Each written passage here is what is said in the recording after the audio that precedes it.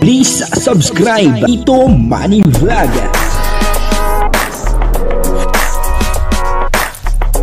Ah, payagan po si ano, Tito Manny vlog na mag-reactor para ano, pambiling gamot sa kanya pong karamdaman. Wala man siyang records ng ano eh, ng awayan. Yun po, no, ah, si Kalingap Dan ay ah, nasa hospital po, ano, at ah, parang operahan po siya. Ano, kaya Kalingap Dan, ah, pagaling ka, no, yan po ay ah, nalaman natin mismo kay, sa live ni Kuya Brooks, ano po, sinabi niya sa live niya na yun na nga po, no, parang ooperahan si Kalingap Dan at parang may nakitang bukol sa kanyang tiyan, ano po. Kaya isama po natin ano sa ating mga panalangin itong si Kalingap Dan ano upang sa ganoon ay maging successful po ang gagawing operation sa kanya ano. Kaya Kalingap Dan pagaling ka po ano.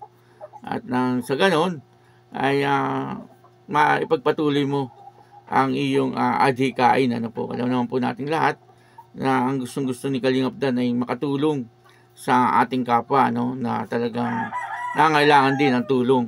Ano po, at syempre, yung makasama din niya ang kanyang pamilya at ganoon din si Joy Diwata.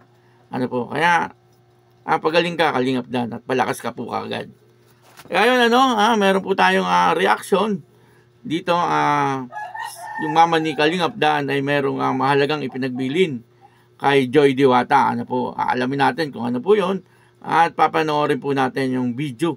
Ano po. Pero bago po yan, ako muna po ay bumabati sa inyong lahat ng magandang umaga, magandang tanghali at uh, magandang gabi sa inyong lahat mga kapatid. Saan man kayo ng panig ng mundo naroroon ngayon, ay mag-iingat kayo palagi at uh, pagpalain kayo ng ating Panginoon. Maraming maraming salamat din po sa patuloy na tumatangkilik sa aking YouTube channel at nanonood sa aking video reaction.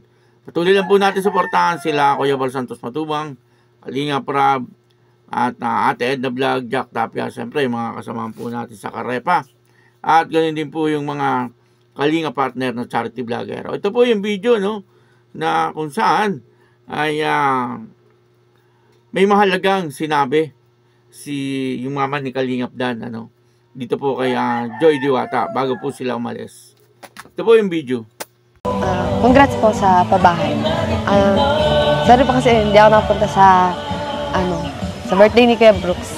Tinga walang pasok ko yun eh. Kaya naka ano ako, free ako nakasama. Congrats sa pabahay po. Thank Galing. you. Ganda? Mm. Inspired kasi ako eh. Inspired saan? Sa'yo. Same tayo. Saan? Sa akin ka rin? Inspired? Narinig ako dun ah. the cute sounds you make while sipping your Ay, ano pala? coffee. Um, kain tayo, Joy. Kumain ka na. Ayokong nagugutom ka eh. Tara. Um, Joy, ano na pala? Mamaya na pala ang biyahe nila, mama. Paalam tayo. Paalam ka na. Sige. Paalam ka na sa ano, sa mama mo. Ay, joke lang. Ito si Hana. Ma'am, papaalam na si Joy. Kasi di ba uwi na kayo mamaya? So, Bless. Sige, ingat po kayo. Thank you po. Ah, Yun po, no, napanood po natin yung video no? at dito nga po ay uh, kinongrats ni uh, Joy Diwata itong si Kalingap Dan, ano po.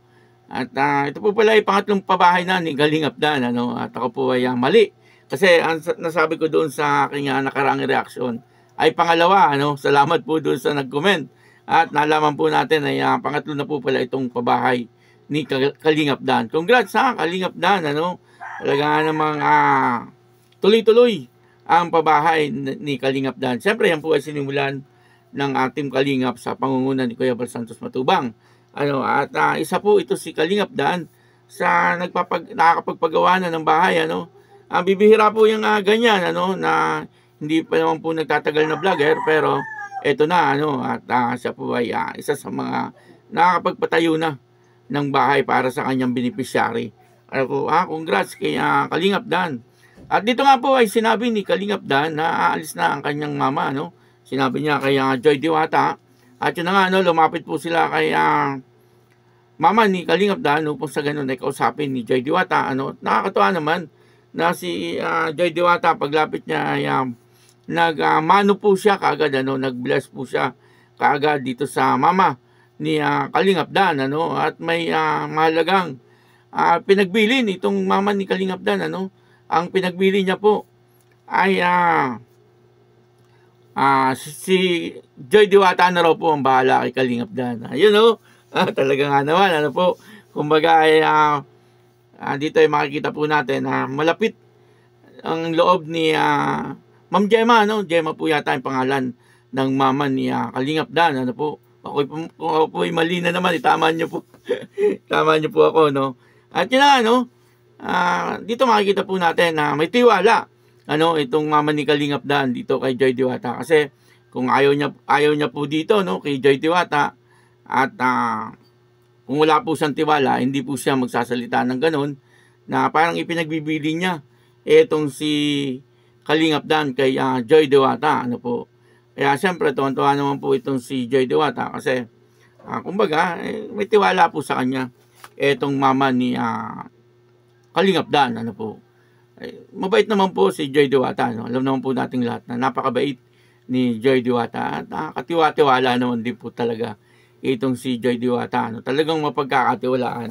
Kumbaga ay parang ah, siguro ah, sa ano ko lang ha, obserbasyon ko lang ay botong-boto si ang mama ni Kalingap Dan dito kay ah, Joy Diwata. Kaya ah, sana ay magtuloy-tuloy ano na magkaroon na po ng ah, relasyon itong dalawang ito sapagkat wala naman pong ano na eh, parang pumipigil. Ano sa sa lahat ay okay na eh, ano? Okay na okay na po ang, ang lahat kumbaga ay ah, talagang yan po ang inaabangan ng maraming viewers ano. yung magkaroon po ng ah, ah, totoong relasyon ha, hindi lang sa teleserye, ah, maging sa tunay na buhay. Ay ah, magkaroon po sila ng magandang ah, samahan at syempre ah, magandang ah, relasyon ano po.